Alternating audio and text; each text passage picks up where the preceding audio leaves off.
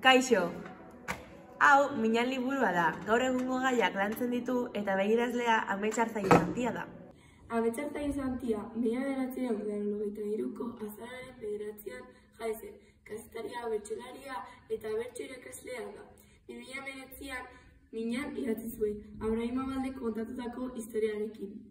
Liburu hau gaur egungo gaiek lantzen ditu, ala nola immigrazioa, tortura, klana, familia...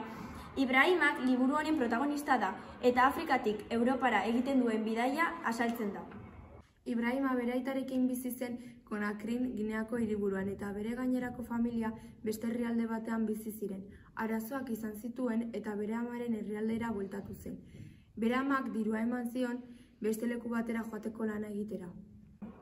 Ala Hasanek, bere nahi txikia, ies egiten du, eta Ibrahima bere bila joateko bidean hainbat arazo izaten ditu. Adibidez, paperik gabe uzten dute, edo hiltzeko arriskuan egoten da.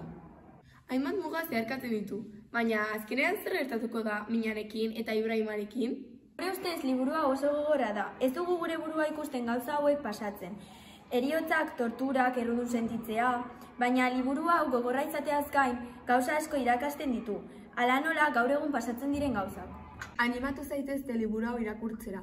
Gauza asko ikasiko dituzute eta.